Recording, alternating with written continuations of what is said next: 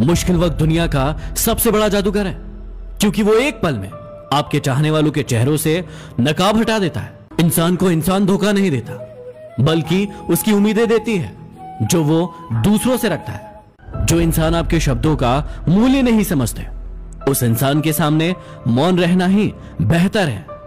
किसी के छोड़ जाने पर ज़्यादा चिंता ना करें। गलत लोगों को जाना पड़ता है, ताकि आपके जीवन में अच्छे लोग आ सकें। जीवन में ये पाँच डर आपके अंदर कभी नहीं होना चाहिए। पहला, आलोचना का डर। दूसरा, किसी के प्यार के खो जाने का डर। तीसरा, मरने का डर।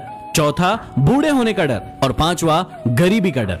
हनुमान जी के जीवन से आपको ये बात ज़रूर सीखना चाहिए कि जीवन में बड़ा लक्ष्य बनाओ और उस लक्ष्य को हासिल करके दिखाओ। जब समुद्र पार करके सीता जी को ढूँढने जाना था तो सभी लोगों ने मना कर दिया था। लेकिन सिर्फ़ हनुमान जी ही थे जिन्होंने समुद्र को पार भी किया और सीता जी को ढूंढ निकाला। चाणक्य की ये बात हमेशा याद रखना कि कभी भी अपने सीक्रेट को किसी के साथ साझा मत करो, क्योंकि ये प्रवृत्ति आपको बर्बाद कर देगी। गीता और कुरान कभी आपस में लड़ते नहीं है, और जो इनके लिए लड़ते हैं, वो इन्हें कभी पढ़ते नहीं है। दुनिया की सबसे सस्ती मजदूर पत्नी होती है, क्योंकि ज़िंदगी भर उसे इस भ्रम में रखा जाता है कि वही इस घर की मालकिन है। पैसा नमक की तरह होता है, जो ज़रूरी तो है लेकिन ज़रूरत से ज़्यादा हो जाए तो ज़िंदगी का स्वाद बिगाड़ देता है। ज़िंदगी में एक बात हमेशा याद रखना। बड़ा नौकर बनने से अच्छा है छोटा मालिक बन जाना, ताकि खुद भी खुश रह पाओ और अपनों को भी खुश रख पाओ।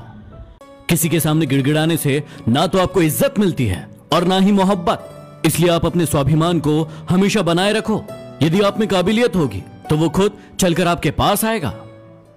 नाराज़ ना होना यह सोचकर कि काम मेरा और नाम किसी और का हो रहा है। क्योंकि यहाँ सदियों से रुई और तेल जलता है। लेकिन लोग कहते हैं कि दीपक जल रहा है। किसी इंसान को धोखा देकर यह कभी मत समझना कि आप कितने चालाक हो। बस ये सोचना कि उस इंसान को आप पर कितना ज़्यादा भरोसा था। ये इंसान भी बड़ा खुदगर्ज है। यदि किसी को पसंद करता है तो उसकी बुराइयाँ नहीं देखता। और यदि किसी को नापसंद करता है तो उसकी अच्छाइयाँ नहीं देखता। जीवन में एक बात हमेशा याद रखना कि मैदान में हारा हुआ इंसान फिर भी जीत सकता है। लेकिन मन से हारा हुआ इंसान जीवन में कभी नहीं जीत सकता। इस वाणी में भी अजीब शक्ति है। कड़वा बोलने वालों का शहद तक नहीं बिकता और मीठा बोलने वालों की मिर्ची भी बिक जाती है। कोई भी इंसान अपने आप को ऐसे ही नहीं बदलता। जीवन में कुछ ऐसी घटनाएँ होती है जो उस इंसान को बदलने पर मजबूर कर देती है। जब तक एक बेटा खुद बाप ना बन जाए, तब तक उसे अपने पिता के द्वारा लिया गया हर निर्णय गलत लगता है। जब तक आप काम के हैं, तब तक ही लोग आपको याद करेंगे। क्योंकि दीपक जलने के बाद माचिस की तीली को फेंक दिया जाता है। यह मायने नहीं रखता कि आप सफल है या फिर नहीं। मायने ये रखता है कि आपके अंदर जितनी काबिलियत है, आप उतने सफल है या फिर नहीं।